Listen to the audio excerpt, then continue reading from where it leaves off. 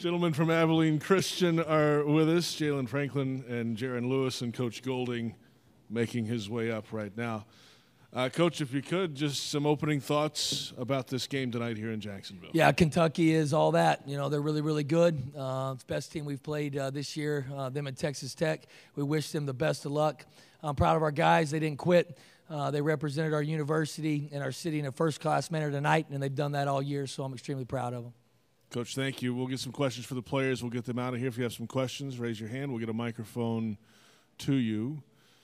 Um, here on the third row. Yes, sir. Jalen and Jaron, just how tough was it kind of adjusting to what Kentucky has personnel wise? Um, it was pretty tough, you know. Uh, we just couldn't hit, we couldn't make shots. Uh, shot 19% in the first half, and in the second half we um, pretty much shot 45. What, 45? Yeah, I guess. Um, just first half and uh, turning the ball over the first half, it really hurt us. Yeah, I mean it's tough uh, adjusting to the, all the length at the rim, and then uh, we knew what we had to do. It was just a tough challenge for us, uh, getting on the glass. But uh, yeah, the turnovers killed us, and we just couldn't see anything fall in the first half, so it was tough. Any more questions for the players? If not, well, here we go. Third row again. Yes. But result notwithstanding, just what was it like being out there and just kind of experiencing that in, in this setting and in this time of year? Uh, I mean, it was a great experience being out there for March Madness and everything. It was uh, great knowing it was the first time in our school's history. But uh, at the end of the day, I mean, it just stings losing like that and then uh, being me, Jalen, and Hayden's last game. Um, it just hurts, but it was a great experience, something we'll probably never forget. Going off what Jan said, it was a great experience, uh, something we won't forget. Um, just knowing that we was out there with Kentucky, you know, one of the biggest schools in the nation, and just out there competing. Any final thoughts for the players? Guys, thank you very much. Congratulations on a great run. We'll continue with Coach Golding here. Questions for Coach Golding, if you have any others. Yes, sir. I'm glad you stayed around, man. just, I mean, kind of off with what the guys said. I mean, not the start you guys would have wanted, but just what did, what was it like watching this group of guys get to experience what they did tonight? Yeah, we couldn't score the basketball. You know, I mean that was the that was the key. Um, we, I thought we ran some good stuff there for a while. Um, we just couldn't finish and we couldn't score.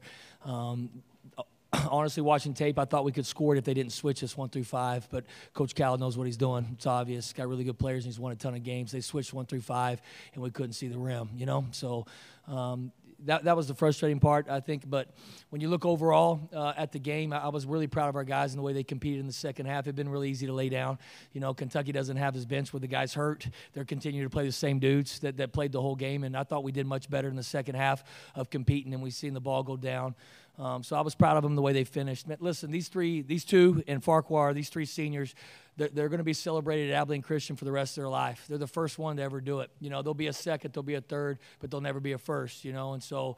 Um, we're going to celebrate these guys, and we're going to have a lot of fun celebrating when we get back to Abilene. So um, it's been a lot.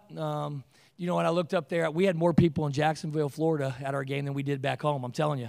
We had more people a night, man, and, and that meant the world to me. I mean, Abilene Christian and March Madness filling up a whole section. Uh, if you knew where our program came from, man, that's really, really awesome. Let's go on the back left. Yes, sir. Coach, nearly $1,000 has been raised on a GoFundMe page for those ripped pants. What are your thoughts on that?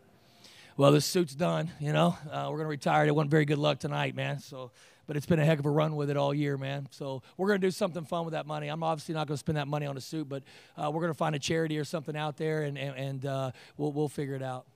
Next door, yes. Coach, this has been you know the best one of the best seasons ACU's ever had. Um, emotional because I'm going to be leaving you as a senior, and I'm glad you waited till this year to do it. I've been enjoying covering it, but just talk about this season overall. And I mean, it's You've broken a lot of re- lot of records, a lot of firsts. Just talk about the emotions of this season. Yeah, it's the second year we've been eligible for postseason play. Uh, this is just beginning, you know. This is the beginning, man. It happened really fast. I'm really glad our university can experience this. I'm glad our players can. It's going to help our program. It's going to help recruiting. It's going to help our university. Uh, we've got a lot of exposure from it, uh, and we're going to celebrate it. But uh, I think it was the best season in ACU history. I don't think it was one of the best. I think it was the best uh, season in school history, and we're going to celebrate those three seniors in this team like it was the best because they deserve it. Here in the third row, and then we'll go to the back next. Coach, not to, to close the book too quickly on this year, but what what does this do for you next year and, and down the road to bring back a group of guys that, that got to experience this? Yeah, uh, I mean, time will tell with that, but we have a bunch of young kids back. Uh, we're obviously losing three really good seniors, but we got some good young kids back. We got to recruit. You know, losing those two four or five weeks ago, made recruiting a little bit different now. Uh, we got to go sign four guys. We thought we were just signing two. Uh, we've built this on high school kids and a culture uh, and really developing, evaluating talent and trying to develop. And so we might have to, you know, get creative in recruiting here through grad transfers, JUCO or something. But we're not going to change who we are. And uh, I think our program is going to move forward, just like I think our university is going to move forward. I think.